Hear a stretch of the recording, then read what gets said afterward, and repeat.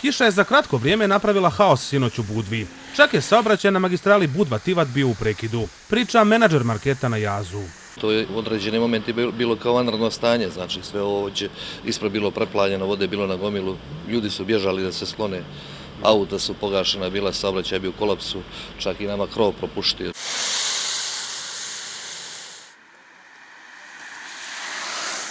Veliki dio posla, kako kažu mještani, uradio i ovaj bager, koji je kopao kanal da što prije odvede vodu sa magistrale.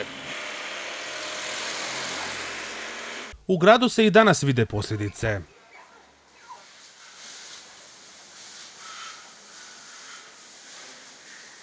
Ovdje skoro metar stoji vam linija na zidu, to je znači bilo katastrofa, jedna opšta katastrofa, sve je poplivalo, hotel je u prizemu poplivao kompletno i velika je materijalna šteta. Infrastruktura nije riješena kako treba. Odgovornost je teško ovdje utvrditi odgovornost, jer svaki ima odgovor za sve, ima sve argumente i znači vi morate samo da se podmirite sa situacijom u kojoj ste i da patite.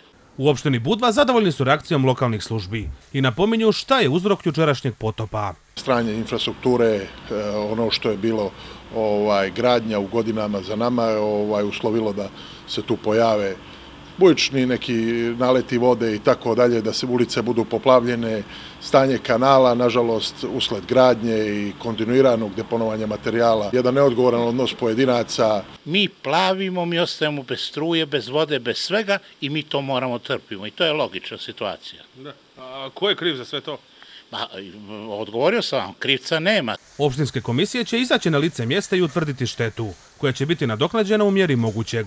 Nadležnim ostaje da apeluju na odgovornije ponašanje prilikom gradnje, prilikom deponovanja materijala i tako dalje. Jednostavno, ovaj, i sad imate jedan ogroman broj gradilišta koje su otvorene rupe. Problemi se neće rešiti bez jedne sveopšte koordinacije na svim nivoima. Mještanim ostaje da strijepe gledajući u nebo. Je li može ovo biti turistička atrakcija vodeni apartman? Pa može, znate, uglavnom mi smo u vrlo teškoj situaciji, imamo veliku materijalnu štetu, evakuirali smo naše goste na drugo sigurno mjesto.